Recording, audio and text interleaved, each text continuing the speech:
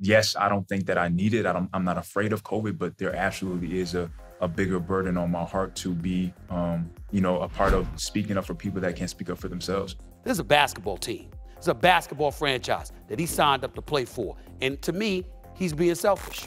For some odd reason, you know, people love to have my name in the mix of just some BS. He has spoken on a multitude of issues on many occasions. He hasn't spoken about this, numer- despite numerous opportunities that he's had to do so.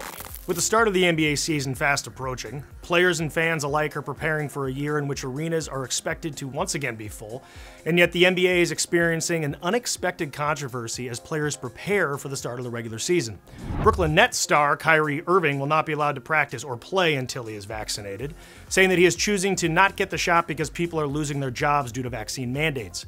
Bradley Beal of the Washington Wizards questioned why people with the vaccine can still get and transmit the virus, and Jonathan Isaac of the Orlando Magic gave a thorough press conference on why he has decided to abstain from the vaccine.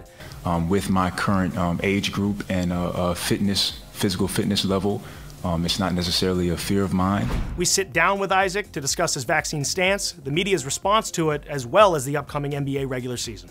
Jonathan, thanks for coming on, man. I really appreciate it. Appreciate you, man. Thanks for having me. Absolutely.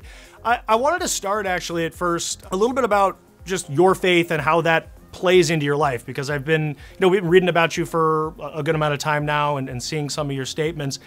How does that play into your life? Has that always been, have you, have you always been into your faith your whole life or is this something that's relatively new for you? You know, I, I wouldn't say always. Uh, to give you the short version, I grew up Christian. My, my dad always had us in church all the time. But as I got to uh, Florida after my parents, my parents split up when I was 10, uh, basketball just took over everything and uh, it became my identity. Like I, I, found my purpose, I found my passion, I found everything in the game. Where if I played well, I was up. If I played bad, I was down. And then I went on this journey of just coming coming to Orlando, getting drafted, and figuring out that everything that I thought that I wanted in life, uh, it wasn't all that it was cracked up to be. Once I attained it by getting to the NBA, and I started to get back to my roots and found out that God wasn't trying to take anything from me, that He was trying to get something to me that was a real relationship, that I could find all the things that I found in basketball and found out in the world I could find in him and they wouldn't take from me like they did, you know, in those other places. So I'm glad I did it. It's been the best decision that I've made so far, and I've just continued to walk it out and, and continue to grow as a man. You know, I know in in the bubble in Orlando, um, you decided to stand um, when when others were kneeling. I'm curious, yeah. was that something? Did, did, that tie in to your faith, or was that kind of a different decision altogether?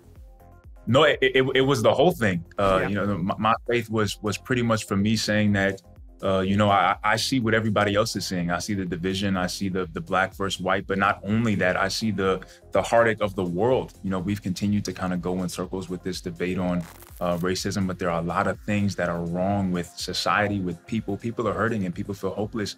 And I, for myself, know that Jesus has been the answer for me and my life, and I wanted to offer that as an answer um, uh, you know, on that platform to say, you know, again, I see what I see what's going on, I see what's happening, but I believe that Jesus is the answer for the world. That summer obviously was a, a, a difficult time, right, with everything that was going on. Obviously, being in the pandemic, and from the NBA level, um, obviously, you know, with Black Lives Matter, that that was a, a big part of the NBA in Orlando. So, sure. did you have to deal with any any pushback from from teammates directly? Did that change anything within the locker room? You know, I, I wouldn't say division. You know, me and my teammates, we had a conversation. Uh, it, it, was a good one where you know we were all able to express um, how we felt, and it pretty much came down to you know I, I respected your decision to kneel, um, and there was a lot of uh, you know good that came out of it too, um, and, I, and, that's the, what I chose to focus on. It was actually a lot more good um, than negative. Well, let's um, dive a little bit into the news of, I guess, the last couple of months. It is my belief that the, the vaccine status of every person should be their own choice um, and completely up to them without the without bullying, without being pressured, or without being forced into doing so. Uh, I'm not ashamed to say that I'm uncomfortable with taking the vaccine at this time. I think that we're all different. We all come from different places. We've all had different experiences and hold dear to different beliefs. And uh, what it is that you do with your body when it comes to putting medicine in there uh, should be your choice. Um, free of the ridicule and the opinion of others. What has formed your thoughts as far as the COVID vaccine and your decision to not take it?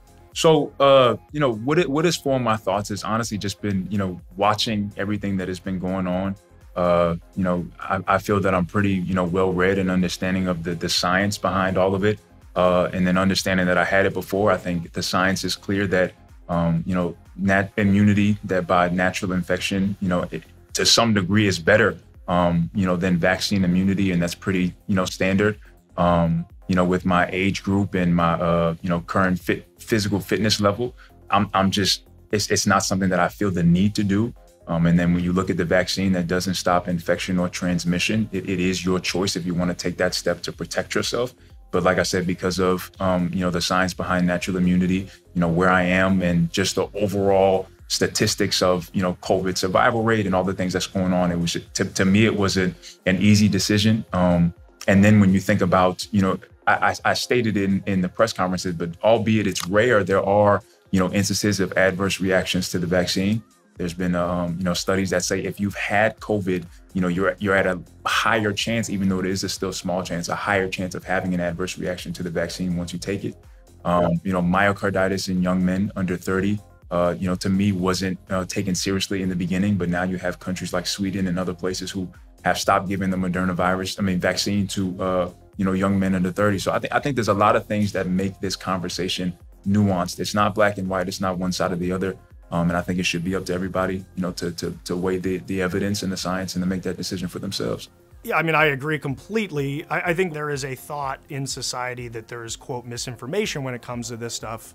Um, so I'm curious, like, do you have specific places, doctors that you go and you read to get information that you, in order to come to this conclusion? I wouldn't say specific doctors that I read. I've, I've been in conversation with a couple. You know, our, our, our team doctor is one um, that I've spoken to, you know, in the time past, and uh, uh, some other doctors that I've connected with. Um, but but even on the misinformation, you know, point that you mentioned, this really all came to to fruition by the Rolling Stone article um, that had came out on me uh, you know, being an anti-vaxxer and anti-science. And that was my first, you know, kind of welcoming to misinformation. You know, when I decided to do the decided to do the article, I was like, you know what? Here's this Rolling Stone article. This guy, he seems, you know, to be in good faith, wanting to get my perspective on the vaccine.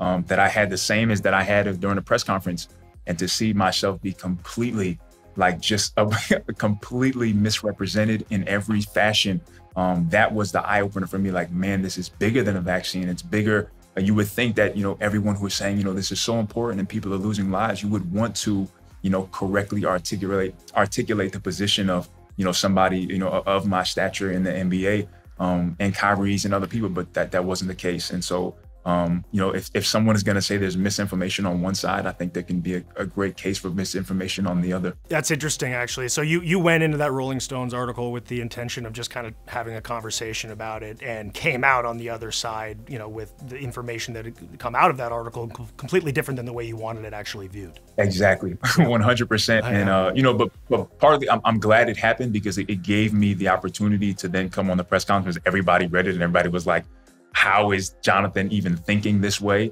And so, um, you know, I, I, think that goes partly into my decision not to take the vaccine as well, is that, you know, this thing has been made bigger than just a vaccine and people have tried to reduce it to it's just a vaccine, take the shot or not take the shot. You know, you should take it because it protects you. Um, but it has become bigger than that. It has become politicized. And, uh, you know, the, the, the, the fact that people have become weaponized to a degree to beat people up who don't want to take it or have their reservations, um, you know, it's become much more than a vaccine. I'm curious when it comes to, you know, obviously you were speaking of the antibodies and being protected because you've had COVID.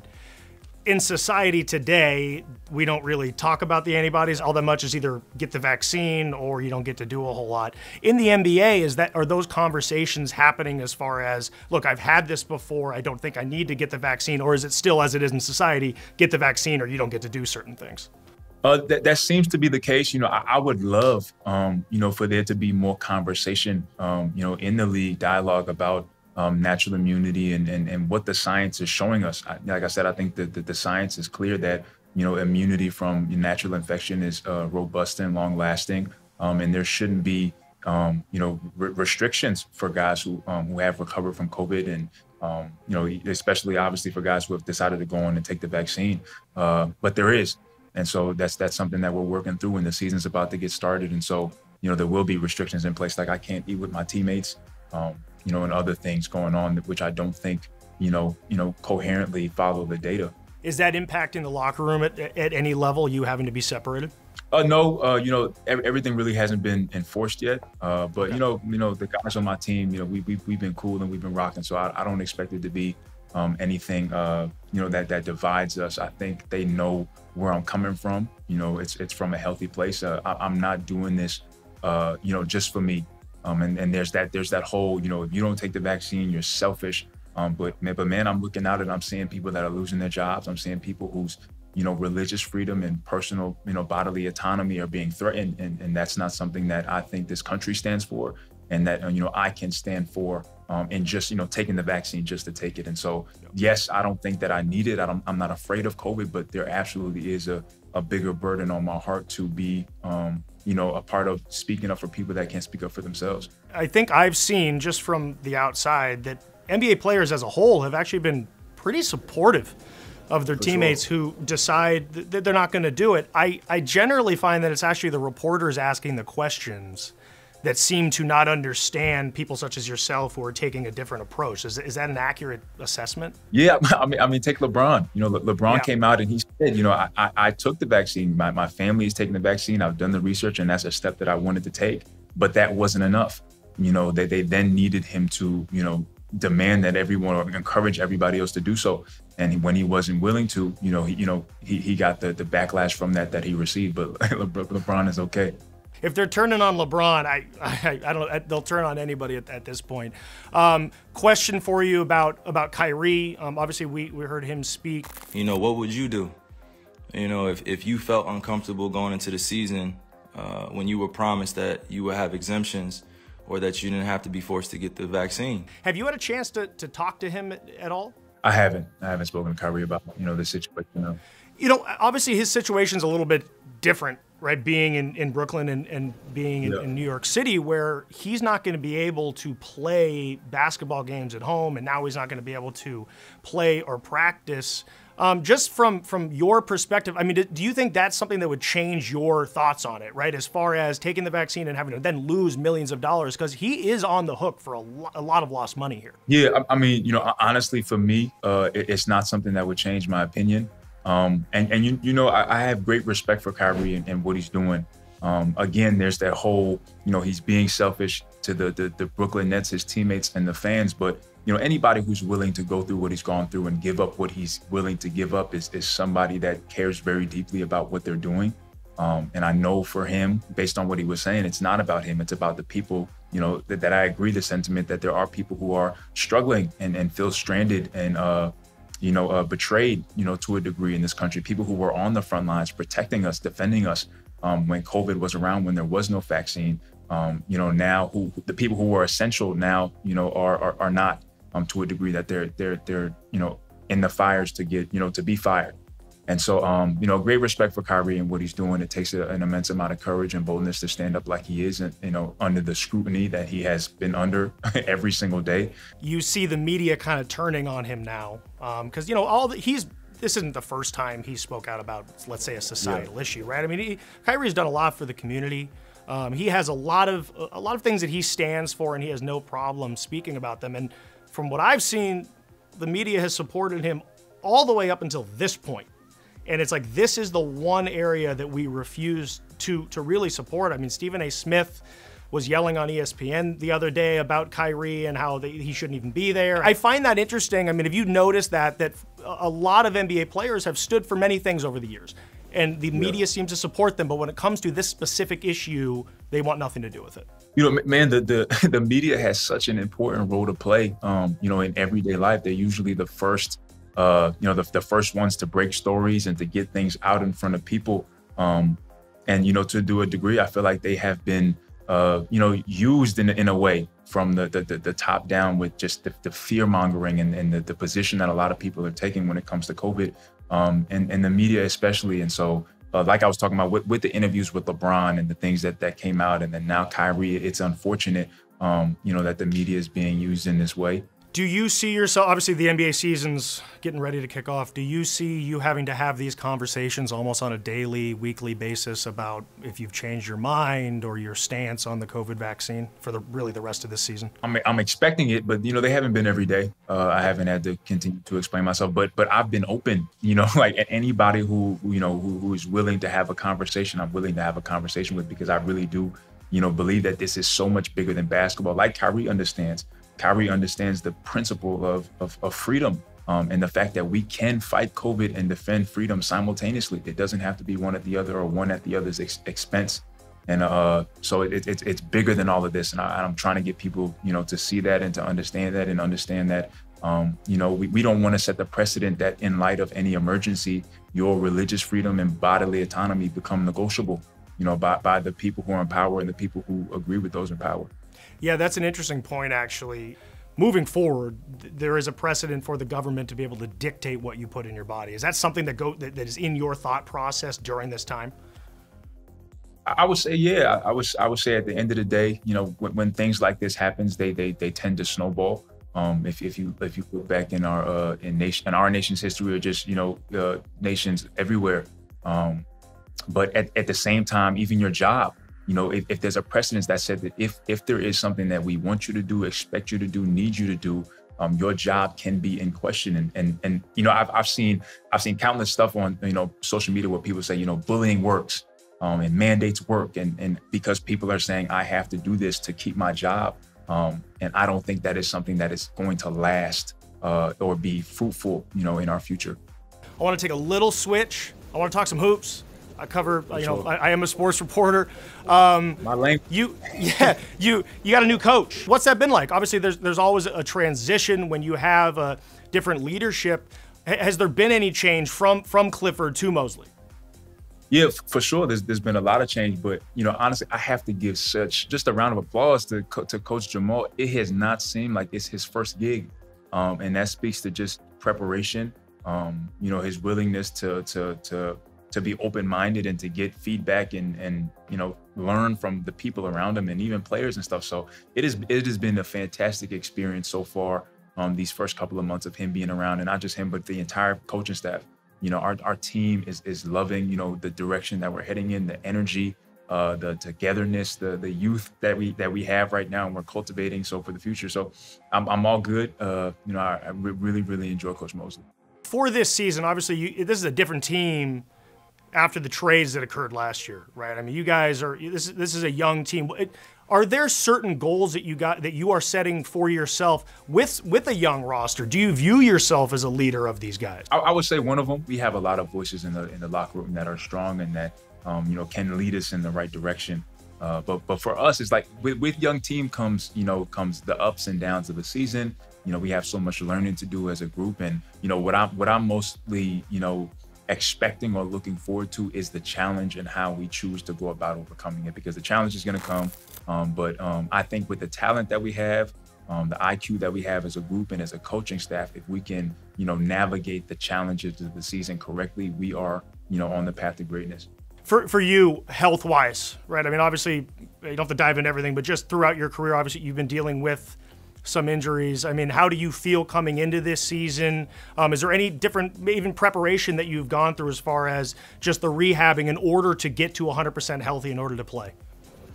Uh, rehab has been every single day. It feels like every every moment of every day. But um, you know, it, it, it's made me better. It's been challenging, um, but just it's just been taking it one day at a time. You know, my, my timeline is still you know not the the, the most clear. Um, but I'm just I'm growing. I'm, I'm on the court. I'm shooting. I'm running. I'm doing all these things. I'm jumping. Um, but it's just about continuing to build strength around my quad and my hamstring. So I'm getting there. You know, I feel good every every time I get in the court. I feel better and better. My shot is looking great, and so I've been able to work on some other things outside of um, you know being on the court. Last question for you. I, I'm just curious. The Ben Simmons situation in Philadelphia fascinates me. Um, is there any talk within NBA circles about that? I mean, we're, we're kind of entering into this new world now of with, with, contracts, right? So he's got a few years left on his contract, and he has stated that he wants out. Are those conversations that happen within an NBA locker room about obviously player empowerment is a big deal, but how far can you take it when you're demanding a trade? Yeah, I mean, I think a lot of players are kind of just watching Yeah. and in suspense of you know what is going to happen or what's going to give, and I think whatever does happen then you know gives leeway to the future about you know like you said player empowerment and the, the ability to request a trade or one out or, or demand your way out. Um, you know how that carries on and it may influence another player too. So I think that even ties into this whole thing with these uh with these vac- vaccine mandates. Yep. And so uh so so yeah, so uh, you know, it's it's definitely something that we're all watching. We're going to see what happens. Um, you know, I, I feel for Ben. I you know I understand the the organization's aspect, but I, I feel for him. Um, and you know, just want him to be you know happy wherever he ends up. Look, man, I can't believe the NBA season is literally a couple days away. It feels like I was just watching the NBA Finals. So, look, man, I, I really appreciate you coming on. Um, I'm excited to, to see what you do, obviously, um, th- this season. And once again, we really appreciate you, you speaking out and speaking your mind. And we look forward to speaking with you soon. Yes, sir. Thank you, my man. Thanks, Jonathan. Thank you for having me.